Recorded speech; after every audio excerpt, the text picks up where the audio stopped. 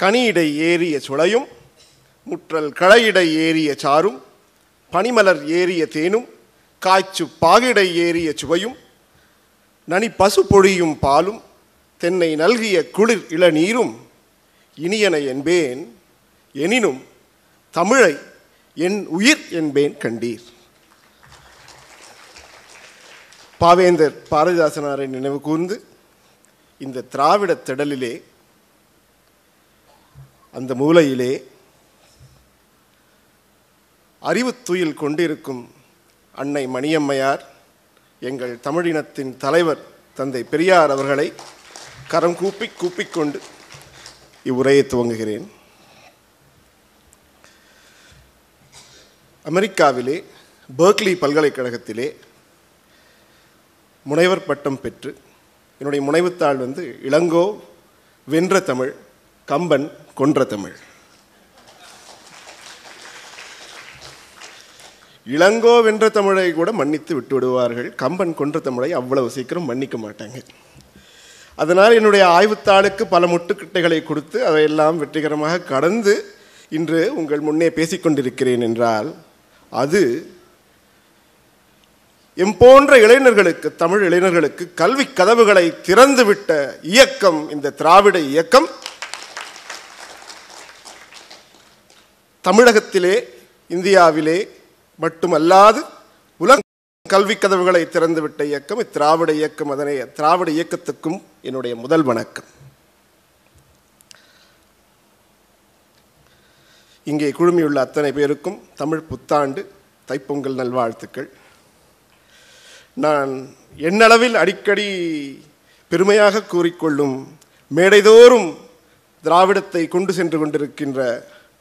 நம்முடைய திராவிட வாரியார் அந்த வாரியார் வந்து மேடைதோறும் ஆன்மீகத்தை கொண்டு சென்றார்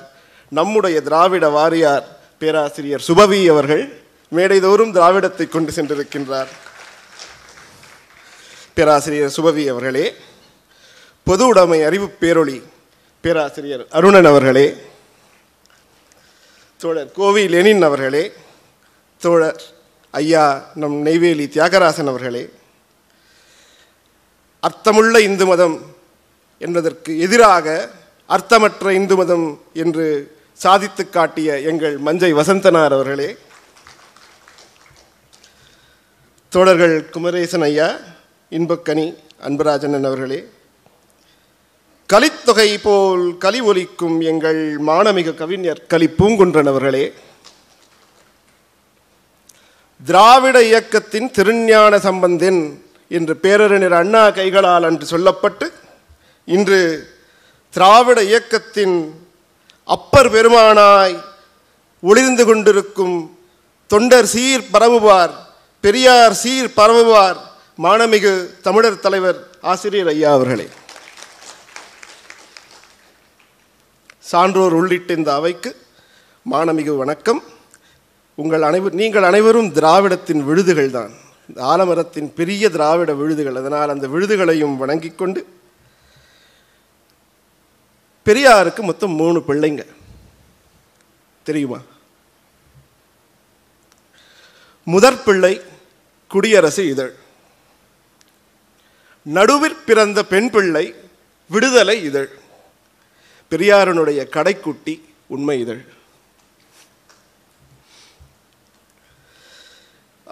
இந்த விழாவிற்கு தலைமை என்று எனக்கு முதலில் தெரியாது இங்கு வந்து ஈழப்பயணம் ஆஸ்திரேலியா பயணம் எல்லாம் முடித்துக்கொண்டு இங்கு வந்து பார்த்த பிறகு தான் தெரிகிறது ஆசிரியர் ஐயா அவர்கள் என்னுடைய குருவி தலையில் பணம் படம் வைத்ததைப் போல் பெரிய பொறுப்பை என் தலையில் வைத்து விட்டார்கள் ஆனாலும் உண்மை எப்படி கடைக்குட்டியோ நானும் அப்படி ஒரு கடைக்குட்டித்தான் அதனால் கடைக்குட்டியாகவே இருந்து கொண்டு இத்தலைமை உரையை துவங்குகிறேன் உண்மை உண்மை அப்படிங்கிறது தான் இந்த இதழனுடைய பெயர் பொன்விழா இதழனுடைய பெயர் உண்மை என்றால் என்ன ஆங்கிலத்தில் ட்ரூத் அப்படின்வாங்க சம்ஸ்கிருதத்தில் சத்தியம் அப்படின்வாங்க பொய்மையும் வாய்மை இடத்த புரை தீர்ந்த நன்மை பயக்கும் எனின் அப்படிங்கிற ஐயனுடைய குரல் உங்கள் எல்லாருக்குமே தெரியும் அதையே பொய்மையும் வாய்மை இடத்த என்று சொன்னார் ஐயன் பொய்மையும் உண்மை இடத்தனே சொல்லியிருக்கலாமே ஏன் அந்த இடத்தில் உண்மை என்று சொல்லாமல் வாய்மை என்று சொன்னார் என்றால் தமிழ் மொழிக்குடைய அந்த மொழி தகவு சிறப்பு என்னவென்றால் தமிழ் மொழியிலே மொத்தம் மூன்று ட்ரூத் இருக்கின்றன முதல் ட்ரூத் வாய்மை வாய்மைனா வாயளவில் சொல்லப்படுவது மட்டுமே வாய்மை அடுத்தது மெய்மை மெய்மை என்பது வாயளவில் சொல்வதோடு மட்டும் இல்லாமல் வாழ்விலும் மெய்யிலும் நம் உடம்பிலும் கடைப்பிடித்து காட்டுவது மெய்மை அதனால தான் வாய்மை எனப்படுவது யாதனின் யாதொன்றும் தீமை இல்லாத சொல்லல் என்று சொன்ன வள்ளுவன் மெய்மைக்கு சொல்லும்போது எப்பொருள் யார் யார் வாய் கேட்பினும் அப்பொருள் மெய்ப்பொருள் காண்பது அறிவு என்று சொன்னார் வாயளவில் சொல்வது மட்டுமே வாய்மை நடந்து காட்டுவது பிறர் வாயளவில் சொன்னாலும் நம்பாதீர்கள் மெய்ப்பொருள் அவர்கள் நடந்து காட்டுகின்றதும் அதே உண்மையாக இருக்கிறதா என்று பாருங்கள் என்று சொன்னது மெய்ப்பொருள் காண்பது அறிவு அதனால் மெய் என்று சொன்னார் இன்னும் உண்மையை சொல்லல் அவர் வாயால் சொல்வது வாய்மை உடம்பால் நடந்து காட்டுவது மெய்மை உண்மை என்றால் என்ன என்ன சொல்கிறார் நுண்ணிய நூல் பல கற்பினும் மற்றும் தன் உண்மை அறிவே மிகும் உண்மை என்றால் என்ன என்றால் உள்மை உள்ளத்தில் இருப்பதுதான் உண்மை உண்மை வெளியே தெரியாது யாருக்கும் நீங்கள் சொன்னாலுடைய வேற யாருக்குமே உண்மை தெரியாது வாய்மை தெரியும் மெய்மை நடந்து காட்டினா பார்க்கலாம் உண்மைங்கிறது வந்து உங்கள் உள்ளுக்குள்ளே ஆழ ஒளிஞ்சிருக்கிறது அதை நீங்கள் சொன்னாதான் தெரியுமே தவிர வேறு யாரும் கண்டுபிடிக்க முடியாது அதனால தான் ஐயன் என்ன சொன்னால் பொய்மையும் உண்மையிடத்தன்னு சொல்லலை சில நேரங்களில் தெரியாமல் நன்மைக்காக புரை தீர்ந்த நன்மைக்காக பொய்மை சொல்லலாம் ஆனால்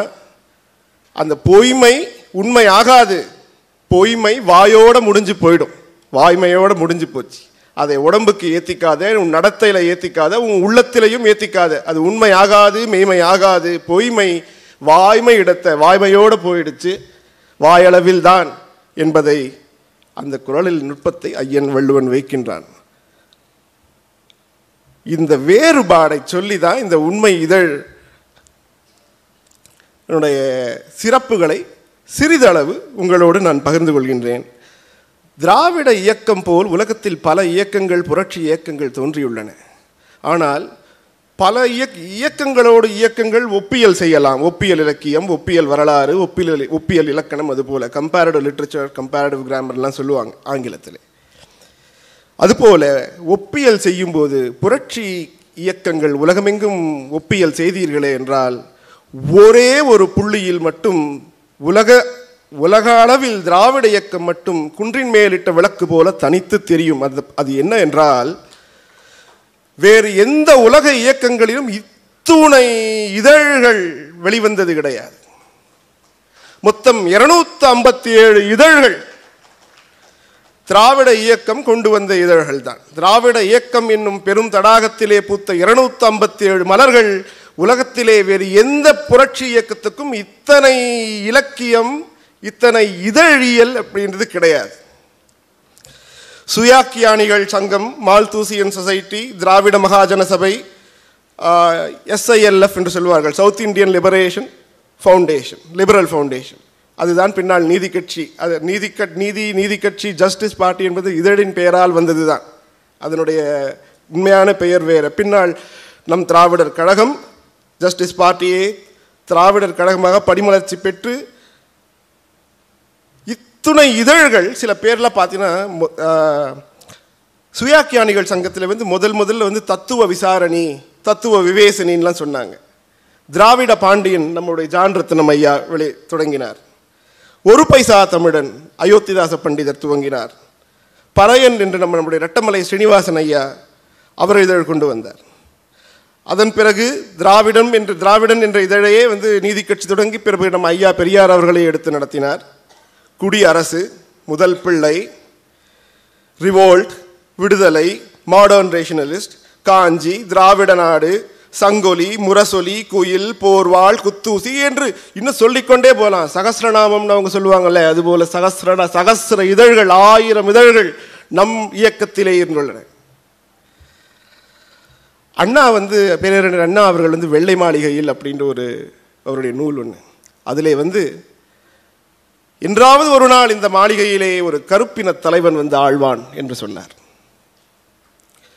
அவர் கூற்றுப்படியே பின்னொரு நாள் ஒபாமா வந்து அந்த வெள்ளை மாளிகையிலே கருப்பின தலைவனாய் கோலோச்சினார் இதை வந்து சங்கராச்சாரியார் சொல்லியிருந்தாங்கன்னா ஆகா என்ன ஞான திருஷ்டி அப்படின்ட்டு இருப்பாங்க அன்னைக்கு பின்னால் வரப்போகிறத முன்னாடியே சொல்லிட்டாருப்பா ஆச்சாரியாள் அப்படின்ட்டு இருப்பாங்க ஆனால் நம் அறிஞர் அண்ணா அன்றே தகமை சான்ற அறிவோடு தன்னுடைய ஆதங்கமாகவும் ஆசையாகவும் அன்பாகவும் ஒரு வரலாற்று தீர்க்கமாகவும் அதை அப்போதே முன்னிட்டு சொன்னார் ஆனால் அதை நாம் எப் ஏனோ அதை ஒபாமா அவர்களுக்கோ இல்லைனா அமெரிக்க அரசுக்கோ இதுபோல் ஒன்று உங்களுடைய புரட்சியை ஒரு கனவாகவே அன்று எங்களுடைய தலைவர் ஒருவர் கண்டுள்ளார் என்பதை நாம் சொல்லாமல் விட்டுவிட்டோம் அதை என்றாவது ஒரு நாள் பெரியார் இன்டர்நேஷ்னல் அந்த ஒரு அமைப்பின் மூலமாக நாங்கள் இந்த அண்ணாவுடைய நூலையும் இதனுடைய கனவையும் அவர்களிடம் முன்னெடுத்து செல்வோம் அதையும் இந்த அவையிலே சொல்லிக்கொள்கிறேன்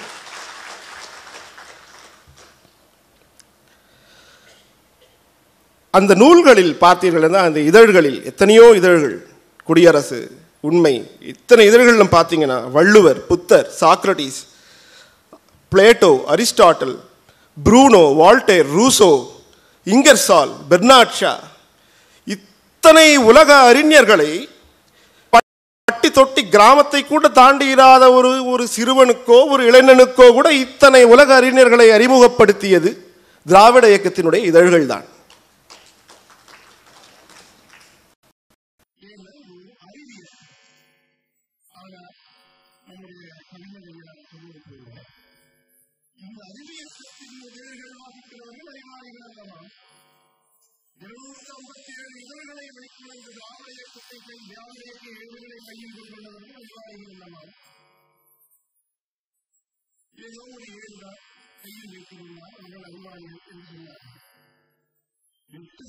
ஒரு தமிழர்கள் ஐநூறு யானைகளா எட்டாவது தமிழ் மக்கள் ஐநூறு பெண்களா யானைகளா என்னடா தமிழ்நாட்டுக்கு ஒரு சோதனை திருமலையாளர் விவசாயம் என்னடா மதுரைக்கு ஒரு சோதனை அப்படின்னு என்னடா தமிழ்நாட்டுக்கு ஒரு சோதனை ஒரே நாளில் தன்னை பெரியாளர்கள் நிகழ்ச்சிகளில் பேசியுள்ளார் ஒரு நிகழ்ச்சியில் நான்கரை மணி நேரம் கூட பேசியுள்ளார்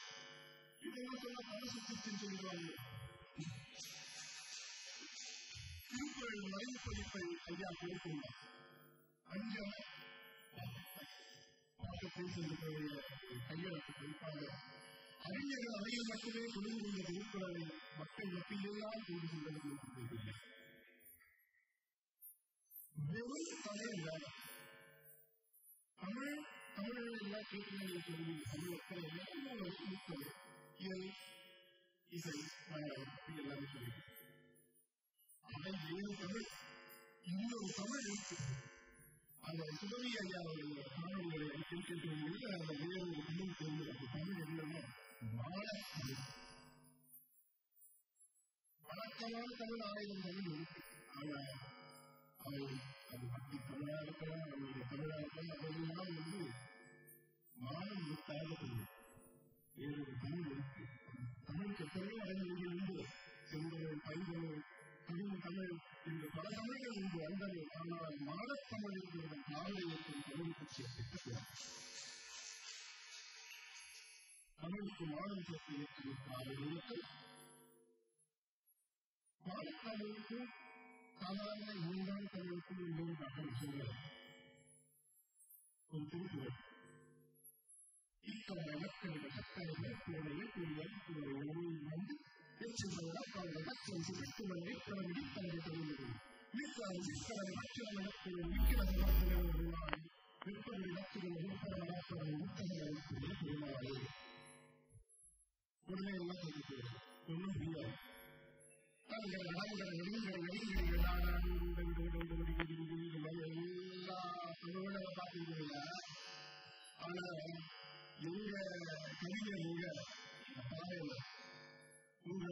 என்ன சொல்றீங்கன்னா சொந்த அழகாக கொடுத்ததால ஷோகேஸ் போயிடுவோம் எங்க கம்யூனிஸ்ட் உங்களை மாடலை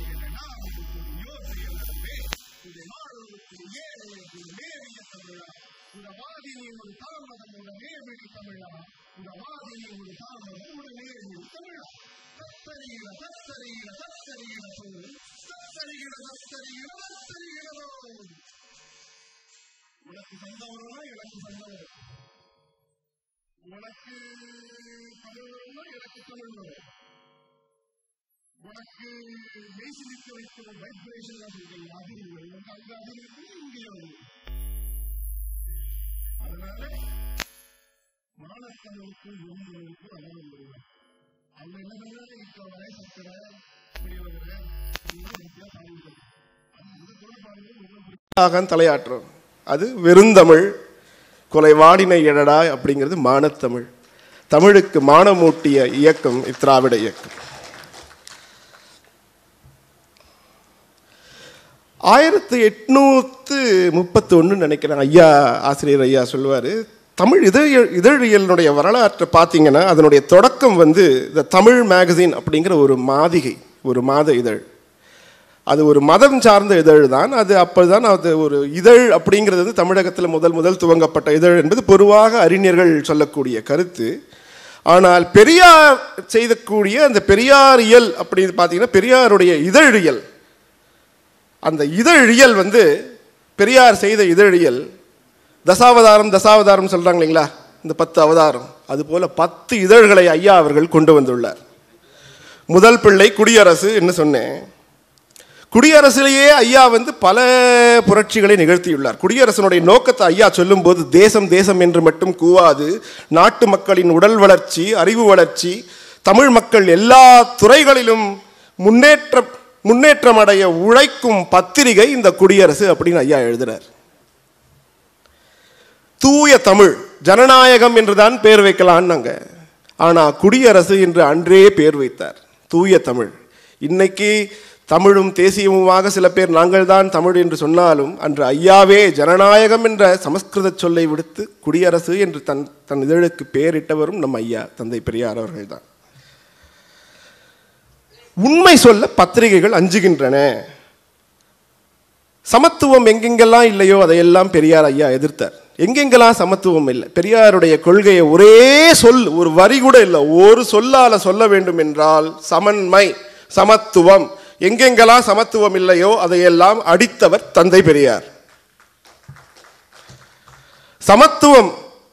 நான் கடவுளினுடைய முகத்திலிருந்து பிறந்தேன் நீ கடவுளிலிருந்து கால் கீழிருந்து பிறந்தேன் சமம் இல்லை சதுர்வர்ணம் மயா சிருஷ்டம்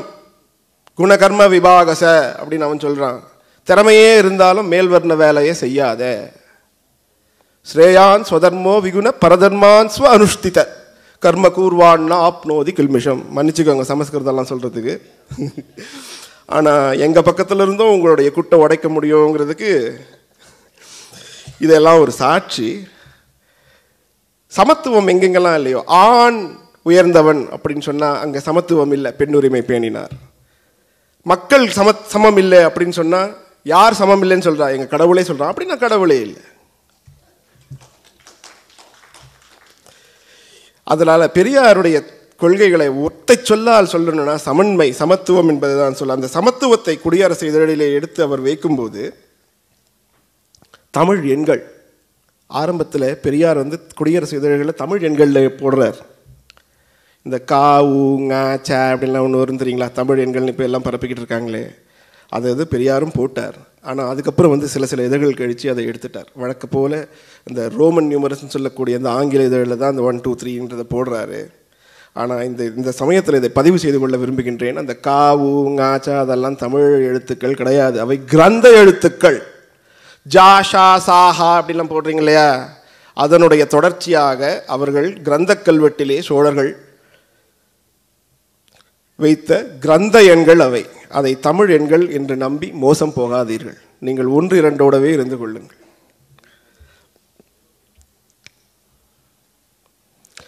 டி கே சிதம்பரனார் அப்படின்னு ஒரு பெரிய தமிழரின் இருந்தார் அவர் சொல்றார் குடியரசை பற்றி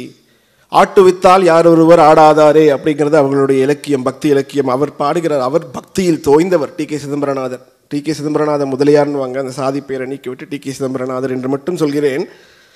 ஆடாததையெல்லாம் ஆட்டி வைக்கும் எது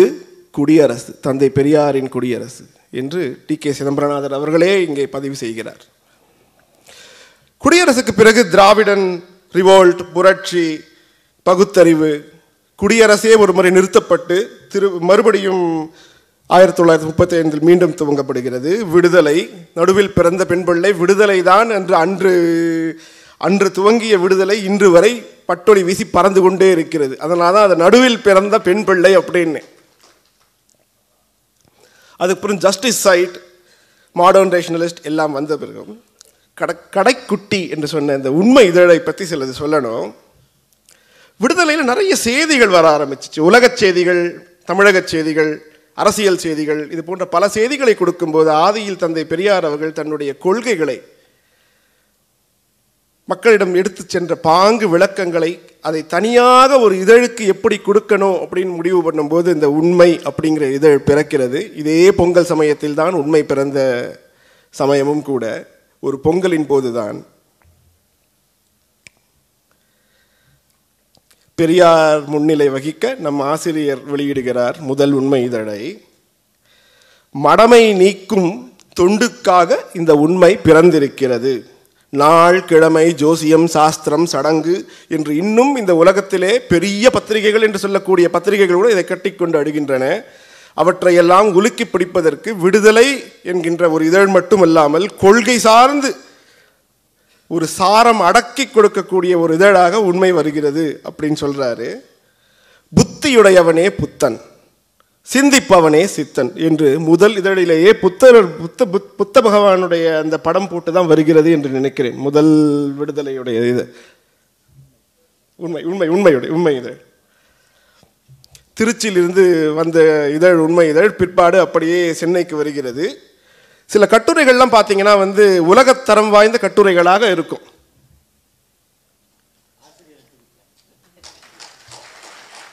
புத்தர் படம் புத்தர் படம் போட்ட முதல் உண்மை இதழ்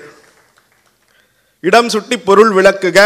அப்படிங்கிறதுல இடம் சுட்டி அப்படின்னு சொன்னாலே போறோம் பொருள் விளக்குகன்னு சொல்ல வேணாம் அதுக்கு முன்னாடியே ஆசிரியர் கொடுத்துருவார்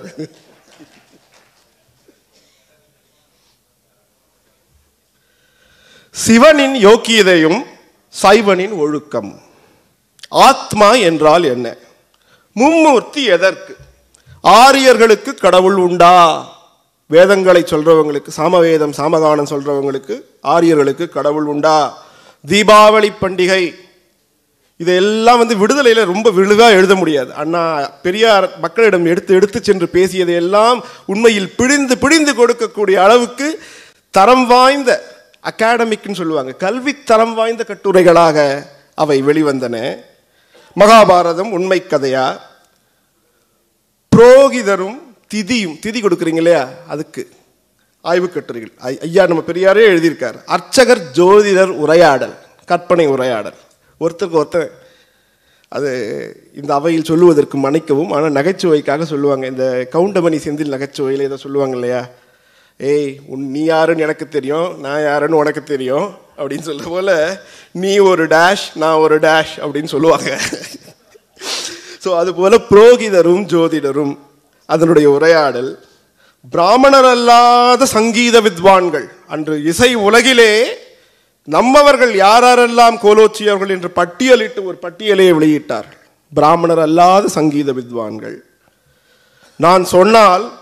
உனக்கு ஏன் கோபம் வருது நான் சொன்னால் உனக்கு ஏன் கோபம் வருகிறது என்று தொடர் கட்டுரைகள் மூன்று கட்டுரைகள் அதெல்லாம் இந்த கடைக்குட்டி உண்மை இதழில் தான் வெளிவந்தது ஏதோ நான் சமஸ்கிருதத்தில் பேசினேன்னு நினைக்காதீங்க ஐயா பெரியார் வந்து பஞ்சகன்யா ஸ்மரேன் அப்புறம் கூகுள் பண்ணி போய் பாருங்கள் பஞ்சகன்யா ஸ்மரேன் அப்படின்னு ஐயா பெரியாரே ஒரு உண்மையில் ஒரு கட்டுரை இருக்குது இந்த பஞ்ச கன்னிகள் இதுக்கு மேலே நான் சொல்லலை நம் கைவல்யம் ஐயா அவர்கள் மா சிங்காரவேலர் மயிலை சீனி வெங்கடசாமி ஐயா சாமி சிதம்பரனார் மொழி ஞாயிறு திராவிட மொழி நூல் ஞாயிறு முழு பெயரும் இன்னைக்கு மொழி ஞாயிறுன்னு சுருத்துறோம் ஆனாலும் திராவிட மொழி நூல் ஞாயிறு அப்போ ஏற்பட்ட தமிழறிஞர் திராவிடம் அறிஞரும் கூட திராவிடம் தமிழ் வேறு வேறு அல்ல திராவிடம் தான் தமிழ் தமிழ் தான் திராவிடம் திராவிட மொழி நூல் ஞாயிறு பாவாணர் அண்ணல் அம்பேத்கர் பிறரன் அண்ணா இவர்களுடைய கட்டுரைகள் புகைப்படங்கள் எல்லாம் தாங்கி தாங்கித்தான் உண்மை இதழ் வந்திருக்கு உண்மை இதழனுடைய ஒவ்வொரு முகப்பட்டையிலும் ஒரு தலைவருடைய படம் இருக்கும் இந்த உண்மை இதனிடையும் எடுத்து பாருங்க ஒரு ஒரு நாடகம் போட்டிருக்காங்க என்ன நாடகம் ஐயாது அந்த நாடகம் பார்த்தீங்கன்னா பாண்டியன் நெடுஞ்செழிய பாண்டியனை ஜஸ்டிஸ் நெடுஞ்செழிய பாண்டியன்னு வச்சுருக்காங்க மண்டல் கமிஷன் பிவி மண்டல் அவர்களை அது ஒரு நீதிபதியாக உள்ளே எடுக்கிறாங்க புத்தி ஒருத்தர் இருக்கார் புது விசாரணைன்னு ஒரு நாடகம் இப்போ அண்மையினுடைய இன்மை உண்மை இதழை எடுத்து பாருங்கள் எல்லா மத விழாக்கள் பின்னும் ஒரு அழிவு கதை உண்டு தீபாவளினா நரகாசுரன் சஷ்டினா சூரபத்மே ஹோலினா ஹோலிகைன்ற ஒரு அரக்கி ராமநவமினா ராவண தகனம் கிருஷ்ண ஜெயந்தினா தாடகை வதம் இத்தனை பொய்க்கதைகள் இல்லாத ஒரே தமிழ் விழா பொங்கல் விழா ஒரு கதையும் கிடையாது பொங்கல் விழாக்கு இதை ஐயா பெரியார் உண்மை இதழில் சொல்லிதான் பொங்கல் வாழ்த்து செய்தியை சொல்கிறார் பொங்கலின் போது தொடங்கிய இந்த உண்மை இதழ் சமுதாய மாற்றத்துக்கான வாழ்வியல் அப்படிங்கிற தலைப்போடு தான் வருது உண்மை இதழ் சமுதாய மாற்றத்துக்கான வாழ்வியல் பெரியாரை தமிழகத்தையும் கடந்து இந்தியாவையும் கடந்து குளோபலைசிங் பெரியார் பெரியாரை உலகமயமாக்குவோம் என்ற முயற்சியில் அமெரிக்கன் ஹியூமனிஸ்ட் அசோசியேஷன்